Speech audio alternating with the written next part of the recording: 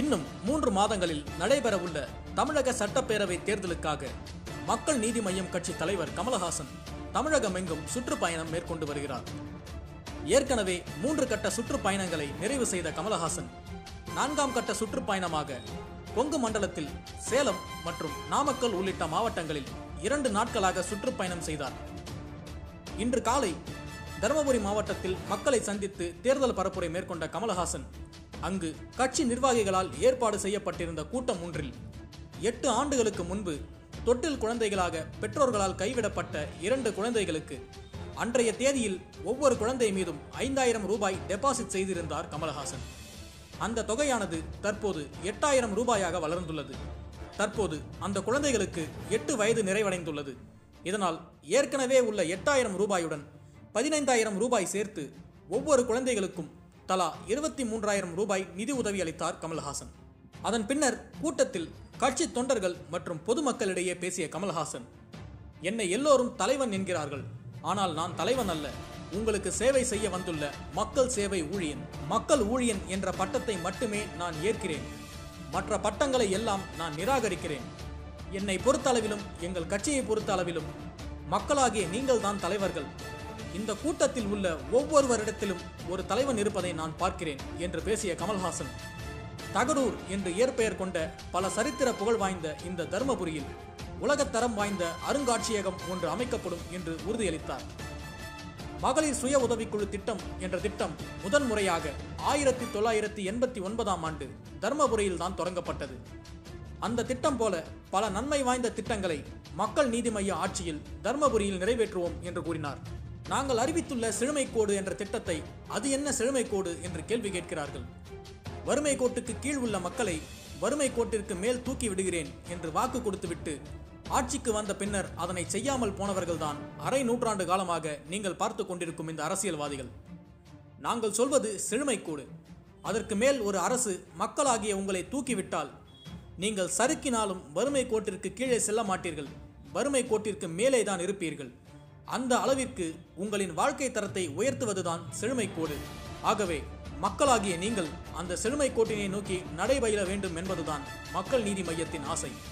அதனை நிறைவேற்ற என்னென்ன வழிகள் உண்டோ அத்தனையும் செய்யும் மக்கள் நீதி மையம்.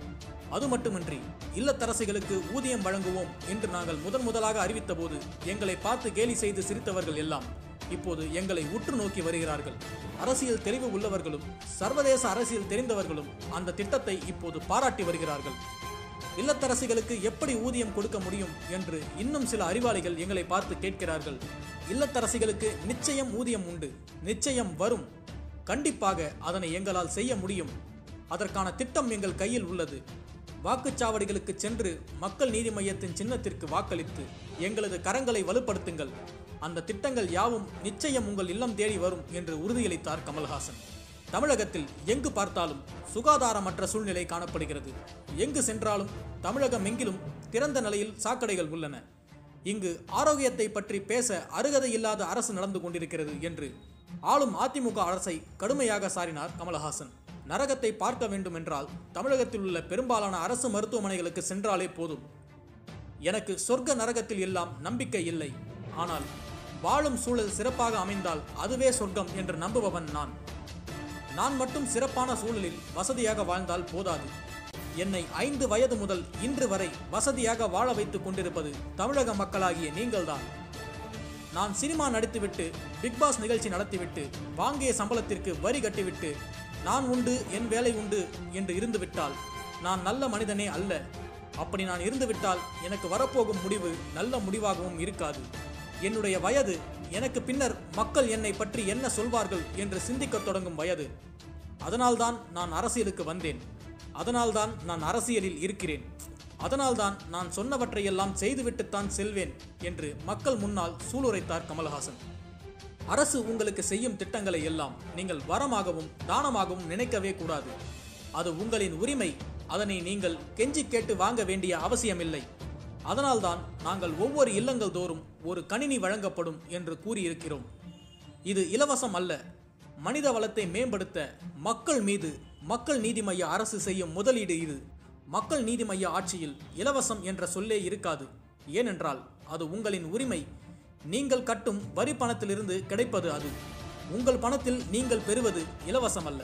தங்கள் தொழில்களில் முதலீடு செய்து பத்து தலைமுறைக்கு சொத்து சேர்த்த அரசியல்வாதிகளைத்தான் நீங்கள் இதுவரை பார்த்திருக்கிறீர்கள். நாங்கள் மக்களின் தலைமுறையை பற்றி யோசிக்கிறோம். நீங்களும் அவ்வாறு யோசிக்க வேண்டும். அவ்வாறு நீங்கள் யோசித்தால் நீங்கள் நிச்சயம் மக்கள் நீதி மையத்திற்கு தான் வாக்களிப்பீர்கள். எங்களிடம் வந்து சேர்ந்தவர்கள் நாங்கள் பெரும் எழுச்சியிலும் புரட்சியிலும் இணைந்திருக்கிறோம் என்று ஊருக்கு சொல்லுங்கள். உங்கள் நண்பர்களிடமும் உங்கள் சுற்றத்தாரிடமும் நாங்கள் நேர்மையுடன் கைகோர்த்து இருக்கிறோம் என்று நெஞ்சை நிமிர்த்தி ஊருக்கே உறக்கச் சொல்லுங்கள்.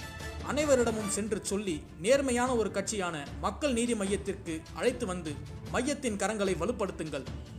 மக்கள் நீதி மையத்தை வலுவுள்ள ஒரு மிகப்பெரிய சக்தியாக மாற்றப் போவது நான் மட்டுமல்ல என் மக்களாகிய நீங்களும் தான் என்று தர்மபுரியில் முழங்கினார் கமல்ஹாசன்.